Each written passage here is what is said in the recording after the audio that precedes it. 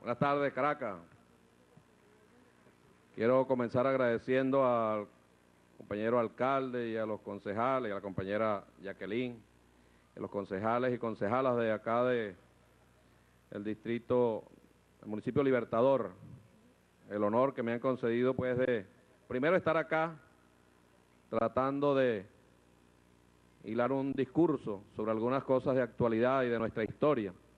Y además el enorme honor que me conceden al entregarme esta hermosa medalla que llevaré con mucho orgullo. Muchas gracias. Ciudadano Jorge Rodríguez, alcalde del municipio bolivariano Libertador. Ciudadana Jacqueline Faría, primera autoridad aquí de, de Caracas. Ciudadana concejala Carmen Serpa, presidenta del Consejo Municipal de Caracas y demás concejales la acompañan. Ciudadano Darío Viva, primer vicepresidente de la Asamblea Nacional y demás diputados y diputadas que nos acompañan hoy. Ciudadano Ernesto Villegas, ministro del Pueblo Popular para la Comunicación e Información. Compañero Eliezer Otaiza, que lo veo allá, un abrazo, compañero y hermano. Ciudadano Manuel Galindo, Procurador General de la República. Ciudadana diputada Kenia Serrano de la Asamblea Nacional de Cuba y presidenta del Instituto Cubano de Amistad con los Pueblos y la delegación cubana que nos acompaña. Desde aquí un gran saludo al compatriota, camarada, comandante Fidel Castro, al compañero comandante Raúl Castro y a todo el pueblo cubano. Y un abrazo solidario desde aquí, desde Venezuela, a los cinco héroes secuestrados por el imperio norteamericano y nos unimos al coro de voces del mundo, libertad plena para los compañeros. Y cese al bloqueo a Cuba, bloqueo infame de Cuba. Pueblo bolivariano de Venezuela, distinguidos invitados especiales en el día de hoy. Bueno, trataré que sea un discurso de orden. Trataré. Agradecido nuevamente, ayer estuvimos en, el Zulia, 190 aniversario de la batalla naval del lago, hoy día en la Armada Bolivariana, festejando además el nacimiento de nuestro, bueno, gran, gigante libertador Simón Bolívar, a quien los bolivarianos, los patriotas llevamos en el alma y llevamos en el corazón. Hace poco estuvimos en Carabobo, también conmemorando la batalla de Carabobo. Hoy estamos aquí en Caracas, conmemorando los 456 años de Caracas, pero también uniéndonos al festejo del el natalicio de nuestro libertador Simón Bolívar. Y además, con esto, llevándolo hasta el 28 de julio para la celebración del 59 aniversario del nacimiento de nuestro comandante eterno, el comandante Hugo Rafael Chávez Frías nuestro compañero, camarada, hermano, comandante por siempre. Y en el día de hoy nos corresponde hablar algunas cosas acá seguramente voy a hablar de otras que han venido ocurriendo en los últimos días.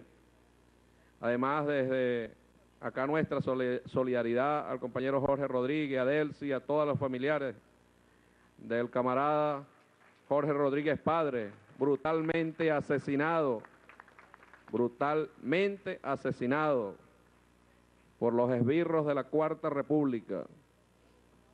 Así actuaba la Cuarta República. Quien pensaba, pensaba distinto, lo desaparecían, lo asesinaban. Más de tres, más de mil jóvenes desaparecidos, asesinados. Algunos encontrados. Hace poco se encontró el cadáver de, de Noel Rodríguez, después de 40 años de búsqueda y así como Noel, una cantidad de venezolanos. Así actuaba la Cuarta República. Y así actuarían en caso de regresar al poder. En un ejercicio así de, en un ejercicio de, pesadilla, pensar que regresen al poder, actuarían de esa manera. De esa manera. Bueno, al pie del Guaraira Reprano, hablaré del presente ancestral y subversivo de Caracas. Primero fue Margarita, del Atlántico venían los barbudos y sus embarcaciones vía Canarias, vía Quisqueya o Santo Domingo. En el Andaluz, en Canarias y en Santo Domingo habían ensayado las primeras formas de esclavismo. Luego fue Cuagua. Y Cuagua conoció la primera huelga de América en el siglo XVI.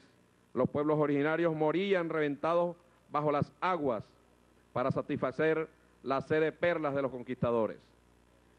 Entonces, hicieron en las primeras décadas de 1500 una huelga de brazos caídos para cambiar el horario de trabajo. Cubagua fue primero que Chicago, pero los yanquis hoy no celebran ni a Cubagua ni a Chicago, porque el capitalismo es antiindígena y es antiobrero. Primero que Caracas fue Coro, que conoció el látigo y la cuerda de indios, usada primero por, los, bel, por los belsares, o los bélsares, los ricos banqueros alemanes que dan cuenta de la primera hipoteca del territorio por parte del Imperio Español en 1528. La cuerda de indios antecedió a la conocida cuerda de negros bajo la esclavitud hispánica. Primero que Caracas fue el Tocuyo. De allí partió la conquista del centro vía Barquisimeto con una resistencia girajara de un siglo, interpuesta entre Lara y Yaracuy, con la resistencia de Miguel de Buría en 1552. Primero que Caracas fueron muchos pueblos y ciudades, hasta la agrícola ciudad caribe de Guaycaipuro, Chacao, Tiuna y Tamanaco, probablemente venga de lo profundo de esas selvas de nuestra Guayana. Caracas fue primero monte y culebra, antes que la provincia, por aquel dicho mantuano, que de coche hacia atrás a la Venezuela profunda no hay ciudades ni pueblos, pero Caracas fue primero. Eso que llamaron despectivamente monte y culebra antes que la provincia. Hay que recordar que la primera idea de Caracas, dada por el informe de Juan de Pimentel, no se limitaba a lo que hoy es el Valle de Guaraira Repano, ni siquiera lo que llamamos la Gran Caracas, sino que se prolongaba varias leguas, provincia adentro, vía los llanos. Luego hay que recordar que también Caracas fue despoblada, poblada y repoblada desde la provincia. La historia hay que escribirla y contarla de nuevo, porque hasta ahora en buena medida ha sido contada por los cronistas del rey. Cuentan que había una vez un valle entre imponentes y soberbias colinas. Estaba ubicado detrás de Maiquetía y de Macuto, La Guaira y Catialamar. Detrás de esos empinados paisajes semidesérticos que con la lluvia y sus vaguadas, sus más elevados promontorios, apenas vestidos con algunas plantas xerófilas. Eran capaces esos promontorios de, de escupir piedra sobre piedra en aquellas playas invadidas por encrespadas olas inclementes. Era el lugar por donde se subía desde el mar para llegar por viejos caminos de indios a Catia, el valle, el valle de Turmero, Chacao y Petare, la tierra de los mariches. En definitiva, para llegar a esa larga cinta entre montañas, atravesada por el que fuera ayer su impetuoso río Guaire, su catucha y su sinnúmero de vertientes de agua, de manantiales y quebradas que vomitaban desde lo alto sobre aquella lengua geográfica, cristalina fuente de buen vivir. De esos riachuelos que sus aguas corren con el devenir hasta que son interrumpidas en su curso natural, por la mano del hombre, cuando rompemos nuestro propio equilibrio con todos los elementos que sustentan la vida. Era el lugar sagrado de una hierba llamada Caraca, con K, dos K, que Caracara le decían en idioma de la tierra. Luego, con el pasar de los días, Santiago de León de Caracas, con K, quisieron llamarla bajo el padrón hispánico.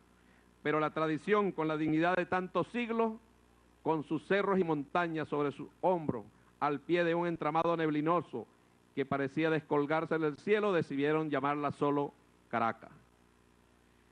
Esos temerosos cerros al pie del mar se enfurecían con torrenciales lluvias y eran capaces de escupir piedras para atajar con sus manos las olas de Macuto. Cuentan los cronistas que en esas playas también se encontraron con un pueblo de indios llamado Caracas. De allí tomaron el nombre inicial que la tradición nos trajo para el nombre de la ciudad, al pie del Cerro Grande, donde César Rengifo plasmaría un día el mito de Amalibacá, tomado de esos hombres y mujeres que renacieron del Moriche después de la edad de las aguas. En ese fértil valle, donde el agua abundaba, había distintos poblados de indios, caminos torcidos y de bohíos redondos que formaban barrios o comunidades, un poco distantes unos de otros con sus sembradíos de deslumbrantes espigas donde el maíz asomaba sus barbas milenarias en cada cosecha. Dicen los arqueólogos Mario Zanoja e Iraida Vargas que en una excavación hecha en el patio de las academias se encuentran frescas las pisadas y restos de utensilios de un barrio indígena en los inicios de la ciudad capital. Origen de lo que fue después ese terrible mundo suburbano que condenó a nuestras barriadas a vivir expulsadas de la ciudad y que expulsó a la provincia del poder central desde el gomecismo al puntofijismo. En este hermoso valle, como retribución a la madre de la naturaleza, una manifestación teatral plasmada de danza, cantos, rituales y celebraciones, la llamaban los Caribe Itanera, según relata el informe de Juan de Pimentel. En este, en este valle nació el teatro desnudo, al pie del Guaraira Repano, nació sembrado en la vida cotidiana de sus pueblos originarios. Era canto y danza de retribución. Pero con la conquista vino ni lo esperado, el monopolio de la tierra, la esclavitud de la encomienda. Hasta los pájaros del valle remontaron las cumbres nebulosas y fueron sus cantos como campanarios que desde lo alto convocaron rebeliones de indios, de negros, de zambos, de indomestizos y blancos de orilla.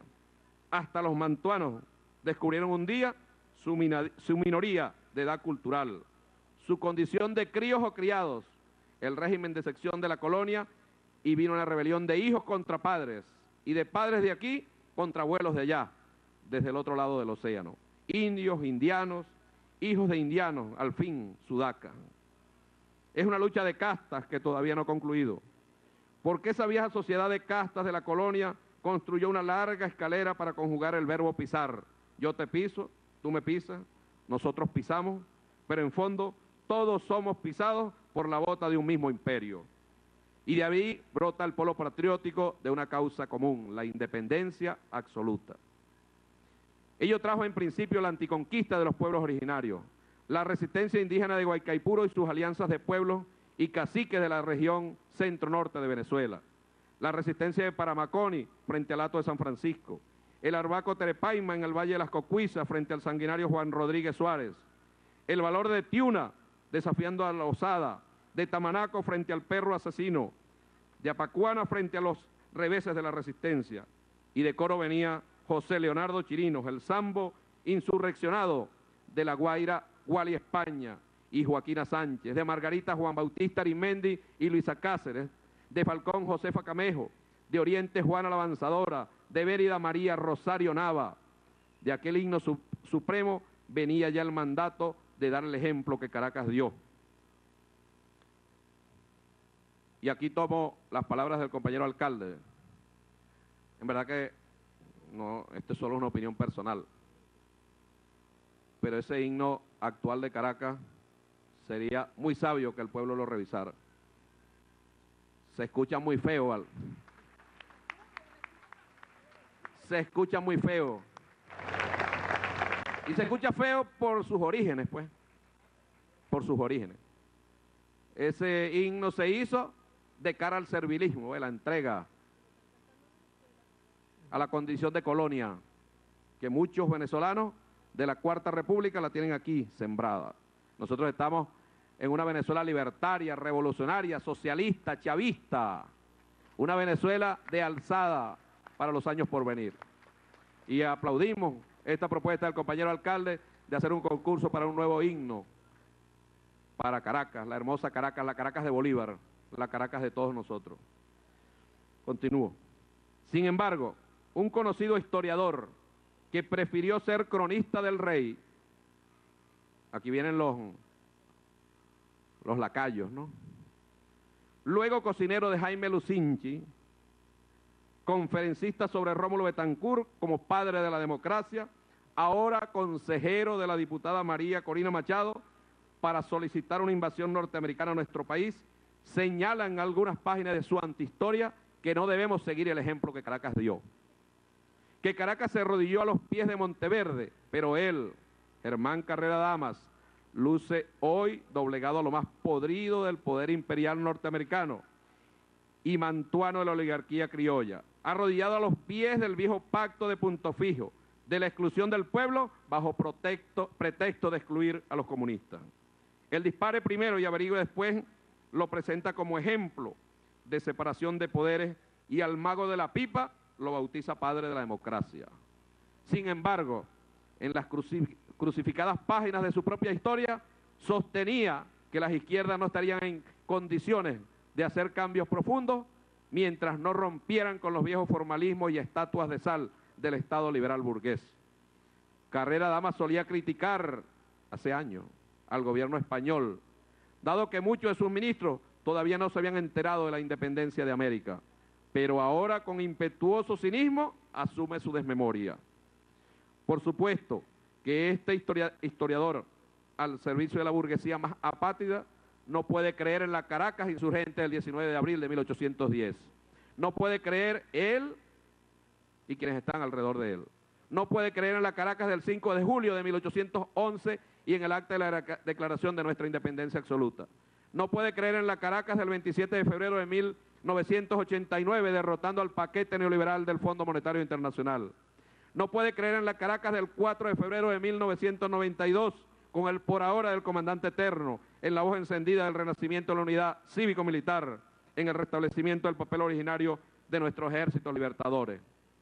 Pero sí entrega su fe a los proyectos de formación de la vieja Escuela de las Américas y a las, nuevas redes de espionaje de la CIA denunciadas por el joven Snowden. No puede creer en la Caracas insurgente que durante la Cuarta República rechazó la violación continua de la, de la autonomía universitaria, con la invasión de los tanques y los cuarteles a los patios de nuestra ciudad universitaria. No puede creer en la Caracas que se levantó el 27 de noviembre de 1992 para solicitar la caída de un régimen de oprobio de 40 años y de entrega total de nuestra patria mediante las fórmulas mágicas de la privatización neoliberal. Por el contrario, los voceros, los historiadores, voceros de esta oligarquía pitillanque y apátrida, claman por el retorno a nuestra América de los Pinochet, de los Onganía, de los Somoza y de los Trujillo. La Caracas del 23 de enero ya no le sirve.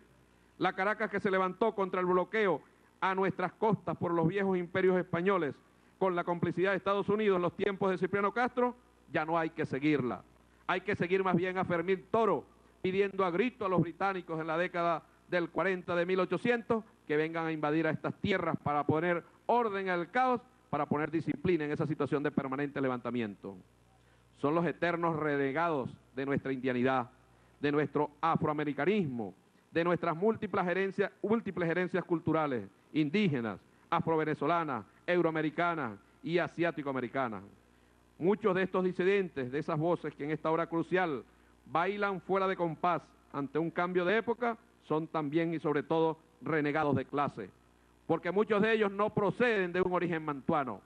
En cambio, ese prototipo del criollismo mantuano que habla con bus de sonrisa de piedra y mirada de odio, que visita con frecuencia el imperio y pide una, y pide una invasión o un golpe ahora o nunca, ella sí tiene intereses de origen y tendrá además razones para estar en el lado opuesto de nuestra América, en la América del apartheid, del colonialismo y de la nueva esclavitud neoliberal. No fue la Caracas pueblo la que se arrodilló y se recomodó los tiempos de Montaverde en plena guerra de independencia.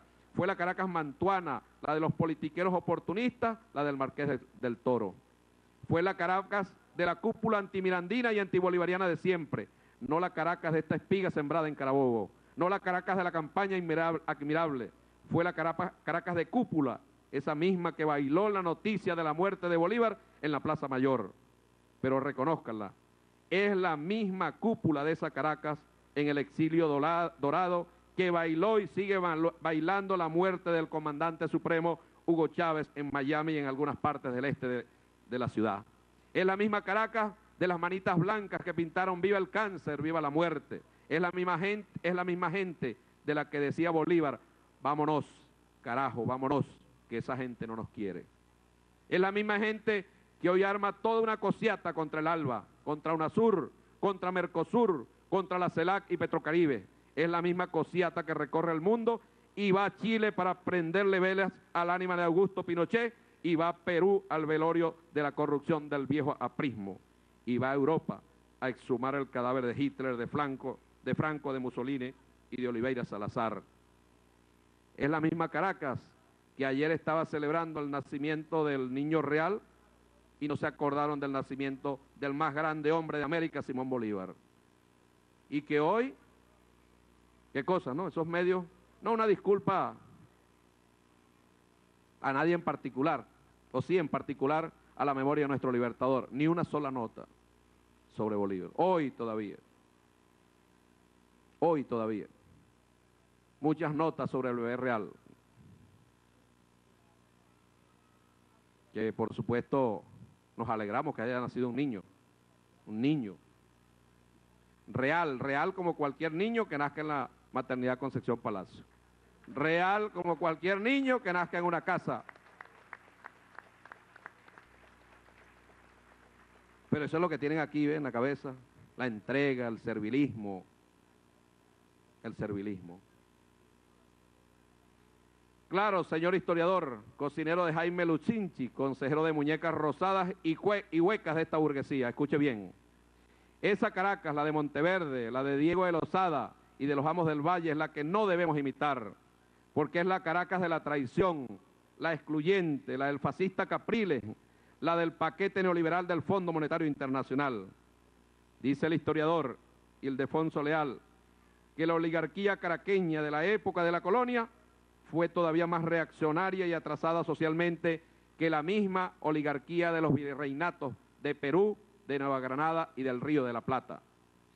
Solo que la guerra de independencia, la inicial presencia de Bobes, el igualitarismo caribe y los desafíos de una guerra federal la dejaron en constante desarme pero también diremos nosotros en constante ataque y rearme en los últimos 200 años de la República.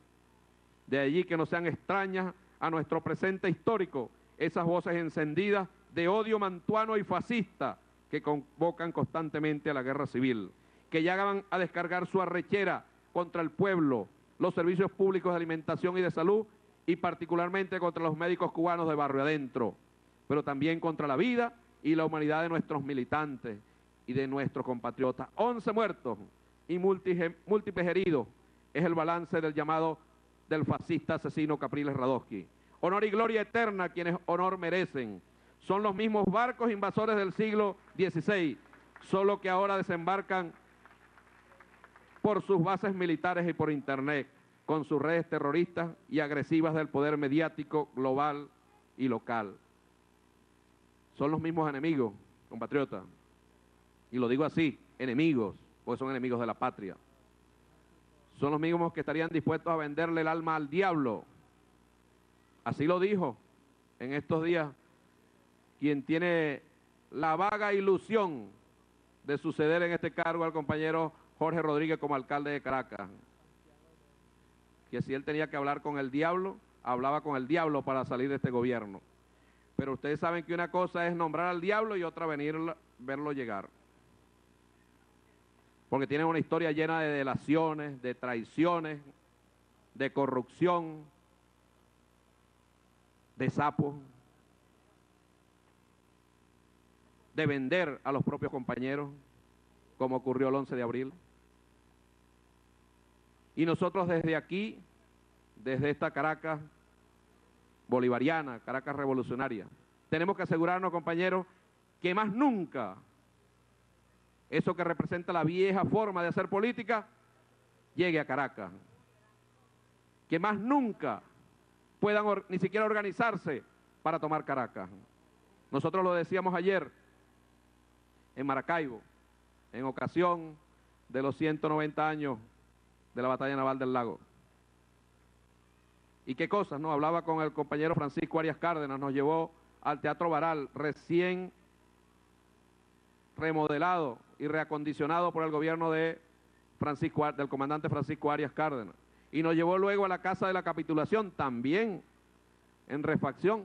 Y nos decía y nos llenó de mucha satisfacción que él esperaba recuperar los espacios de Maracaibo, tal cual lo estaban haciendo Jorge Rodríguez y Jacqueline Faría, acá en Caracas, para el pueblo, los teatros, los espacios. Que en el fondo es la revolución. Que en el fondo es la revolución. ¿ves? Y a ellos, al sector este de la derecha, no les gusta hablar de historia. Para nada. Esto que estábamos hablando, de las traiciones, de vender su alma al imperio, a ellos no les gusta hablar de eso. A ellos no les gusta que se recuerde que hace 37 años asesinaron a Jorge Rodríguez. Se oponen cuando estamos en la Asamblea Nacional y tocamos esos temas, le dicen, no, ¿para qué vamos a hablar de la historia? Eso es viejo, eso es pasado. Muy viejo es, quizás, ¿no? 200 años, 300 años. 37 años de Jorge Rodríguez. Pero tenemos ahí el 11 de abril vivo. Tenemos ahí vivo el 14 de abril, 15 de abril, con los mismos protagonistas, con los mismos que quieren dar el zarpazo, con los mismos que no tienen ni siquiera la valentía de asumir lo que están haciendo, con los mismos que escurren el bulto cada vez que intentan hacer algo. Nosotros lo dijimos ayer, ante el llamado de uno de estos fascistas practicantes, Leopoldo López, que dijo que él no se iba a calar seis años a Nicolás Maduro. Y te lo repetimos hoy. Dale, pues.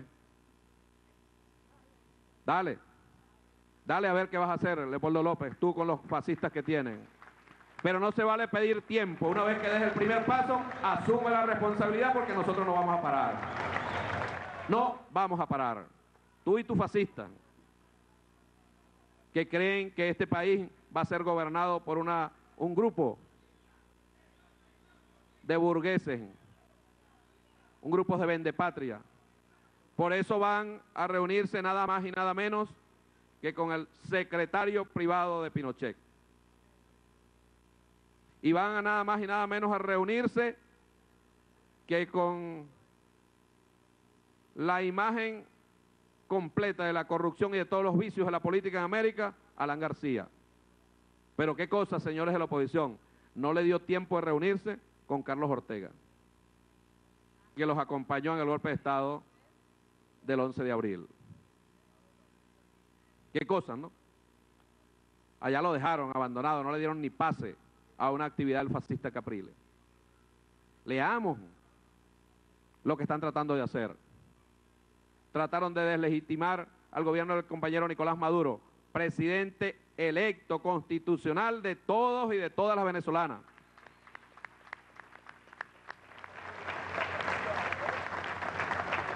trataron de, trataron de crear su primavera árabe aquí en, en Venezuela. Lo que es que no tienen valor para seguir adelante.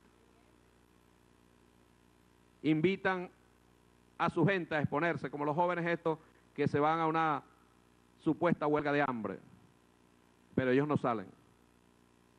Así fue el 11 de abril, ninguno llegó aquí al palacio, todos se fueron antes, porque sabían que tenían francotiradores colocados a los alrededores del palacio. Y los exterminaron a ellos mismos, terminaron matándolos. Eso es lo que ofrece la derecha venezolana. Ahora Caracas debe mantenerse de pie. La Caracas revolucionaria tiene que mantenerse de pie. La Caracas revolucionaria tiene que seguir siendo gobernada por un alcalde revolucionario, chavista, socialista. La Caracas revolucionaria no puede darle espacio a la traición.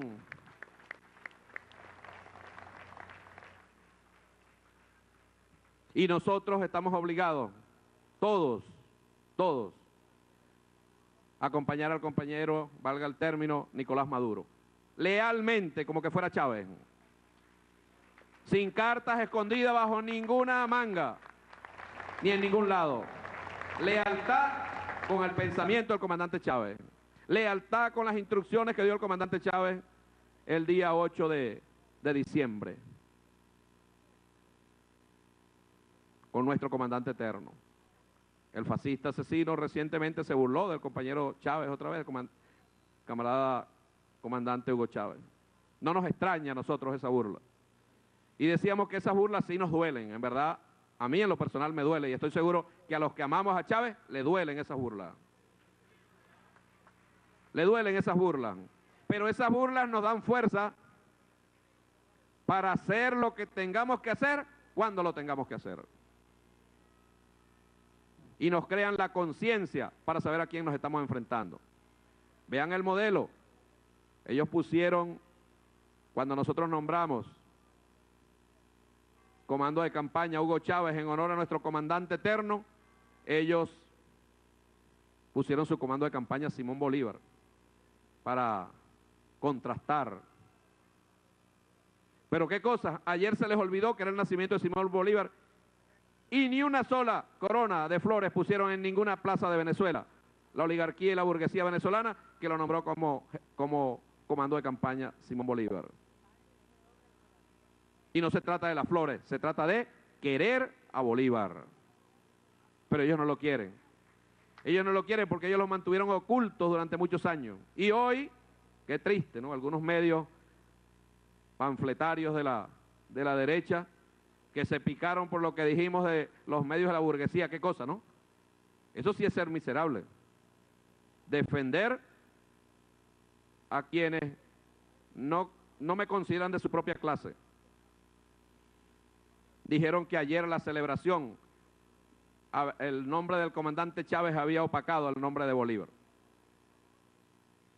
No, señores de la burguesía y señores miserables de algunos medios, Chávez y Bolívar marchan juntos. Y ayer estamos seguros, estamos seguros que estaban viendo lo que ocurre en Venezuela. Chávez y Bolívar no podrán ser separados más nunca. Así tengan ustedes los medios de comunicación, así tengan el poder económico, más nunca los van a poder separar. Porque fue Chávez quien sacó a Bolívar del mármol. Fue el comandante Chávez quien sacó a Bolívar de un simple texto. Fue Chávez quien puso a Bolívar en la calle junto al pueblo y por eso el pueblo dice, alerta, alerta que camina la espada de Bolívar por América Latina. Y eso no van a poder ustedes borrarlo del alma y del corazón del pueblo.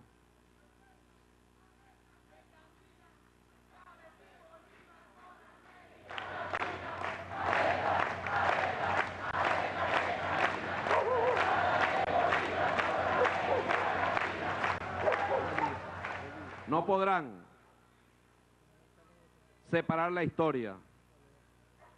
Así igual, recuerden, compatriotas, cómo nos presentaban a Miranda.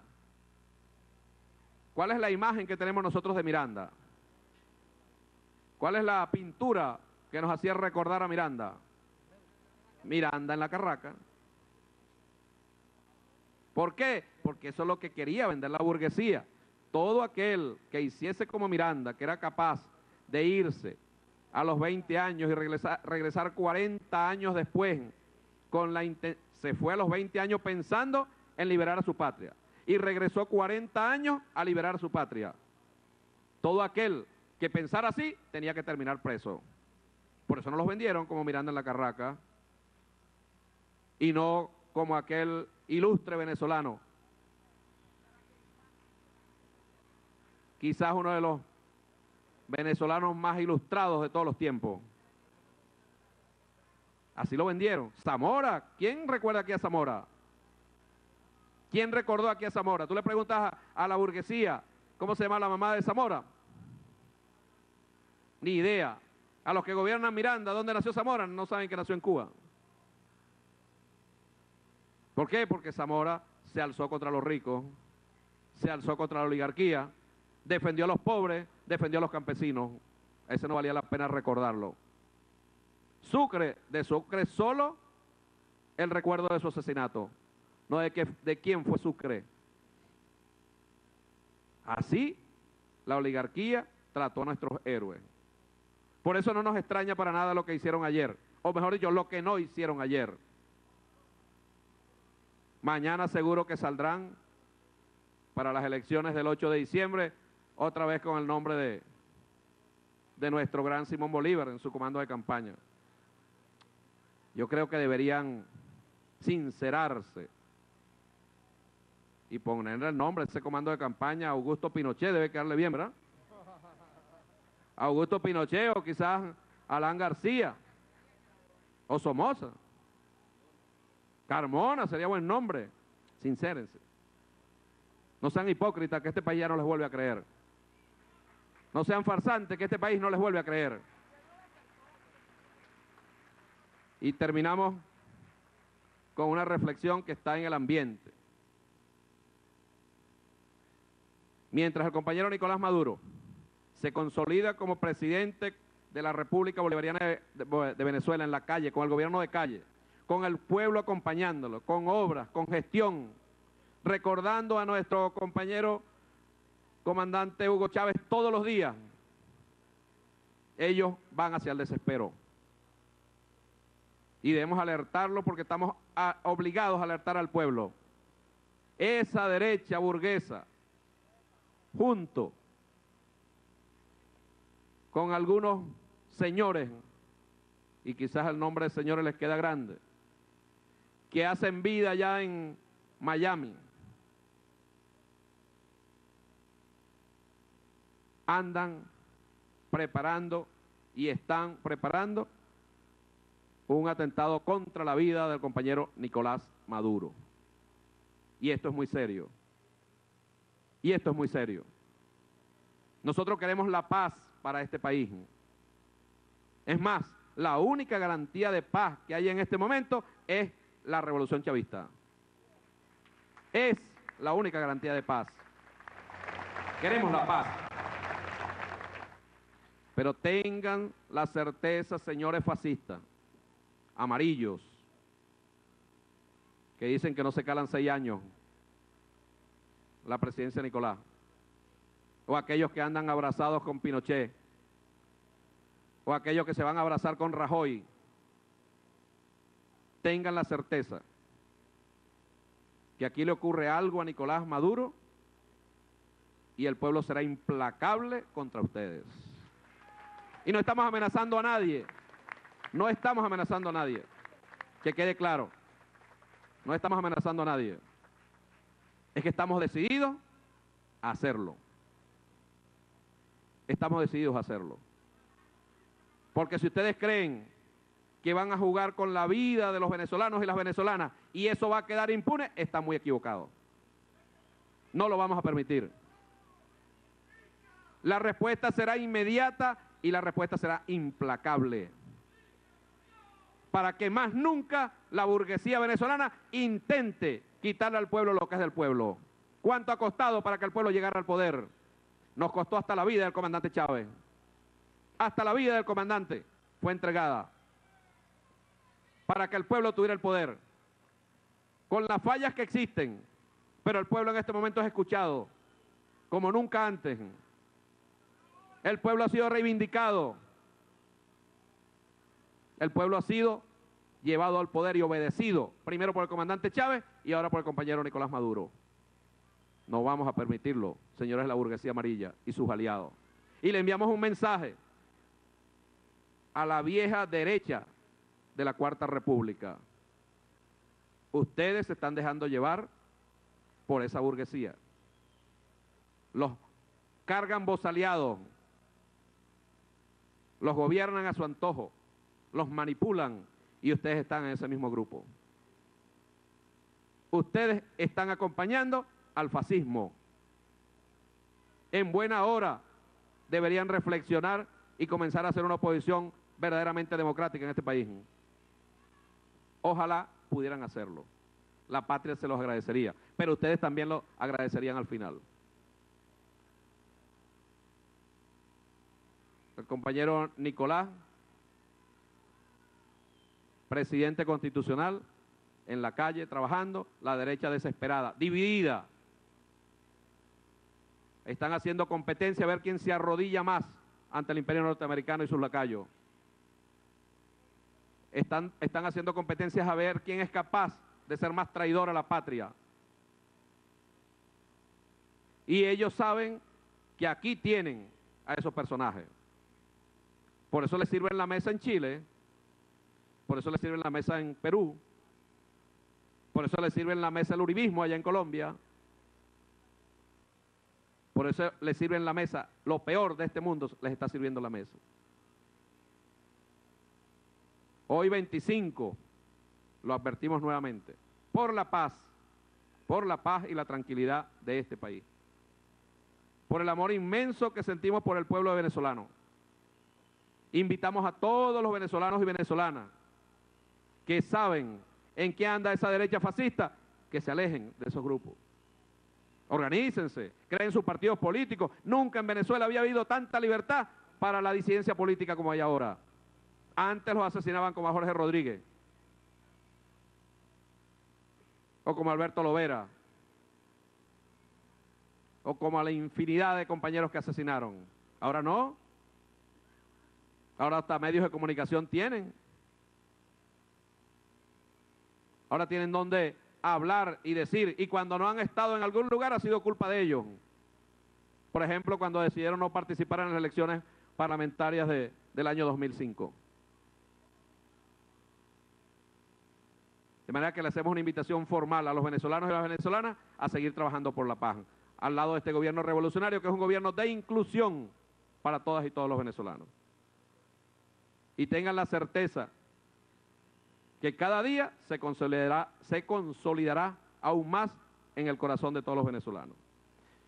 Bueno, sobre los cielos de esta azotada ciudad y los sueños de los libertadores de ayer y de hoy, volverán desde los balcones del Guaraira Repano los pájaros toromaima, los azulejos y el colibrí, revoleteando con las mariposas entre la miel de flores y jardines. Pero las cúpulas del pacto de punto fijo con las capuchas del fascismo más nunca volverán. No volverán. No volverán porque Chávez vive y la lucha sigue. Adelante, compañero Nicolás Maduro, con el mandato irrenunciable del comandante supremo. Independencia o nada resistencia prolongada y patria socialista para nuestros hijos, para nuestros nietos, para nuestro más, lo más amado que tenemos nosotros, que es este pueblo. La única garantía de paz que hay en este país es la revolución chavista, bolivariana y socialista. Lo demás es un salto al vacío con irresponsables que jamás van a asumir su responsabilidad de lo que ellos hagan. Pero para eso debe estar el pueblo pendiente, unido con su Fuerza Armada Nacional Bolivariana, para hacerlos entender que este pueblo decidió ser libre y soberano. Buenas tardes, compañeros y compañeras. Muchísimas gracias por la atención.